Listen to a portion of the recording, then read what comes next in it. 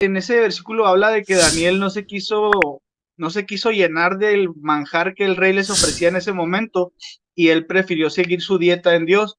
Eso, es, eso recita la Biblia. Yo lo entendí como que yo no quiero lo que el mundo me ofrece. O sea, el, el manjar que el mundo te ofrece, no lo quiero. Yo quiero la dieta estricta que ofrece Dios. Entonces, por eso decidí.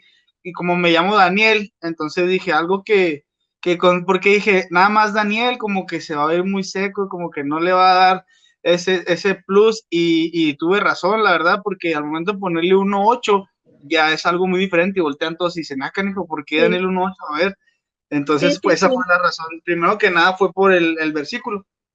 Claro, claro, no, si, si, su sueño en realidad es cantar, es lo que quieran hacer, háganlo y, y métanle siempre el 100% de su empeño, de su trabajo para llegar a donde quieren, muy dura, la verdad. Sí, la verdad, sí. Este, pues yo, yo crecí con mamá nada más, 10 años con mamá.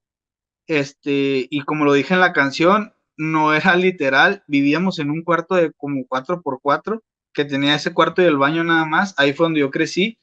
Este, literalmente mi mamá trabajaba de noche y ella se iba y me dejaba encargado con la vecina, que es mi nana. Afortunadamente nunca, nunca probé drogas porque no me dejaban, como yo era más niño.